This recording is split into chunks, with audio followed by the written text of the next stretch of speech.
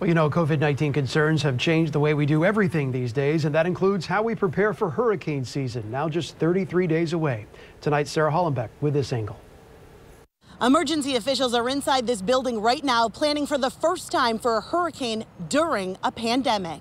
We've seen bigger, stronger storms, you know, with each hurricane season, so we need to be ready for it. Amber Boulding in St. Pete's Emergency Management Office says her biggest concern is making sure hurricane evacuees will have at least six feet of space to spread out in shelters, as medical experts warn about a potential second wave of COVID 19 cases. If we're not prepared for a hurricane in the face of what we're looking at right now, you know, we potentially have a recipe for more of a disaster. One idea gaining traction is to use federal funds to rent out hotels where evacuees could spread out to individual rooms. Another idea is to use rideshare services to transport evacuees instead of large buses.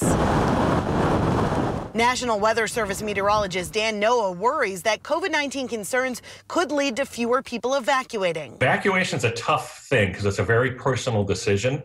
It's very hard to determine uh, how people will react. Pinellas and Hillsborough counties are also looking at requirements for masks and temperature checks to get into hurricane shelters and encouraging everyone to use shelters as a last option. Try and find a place that is in a non-evacuation zone. Maybe a friend's uh, house or something like that that maybe has a a separate bedroom with a bathroom so you can even, you know, reduce interaction. Officials also want you to check your evacuation zone and start stocking up any of your supplies because many of them are already in short supply at stores because of COVID 19.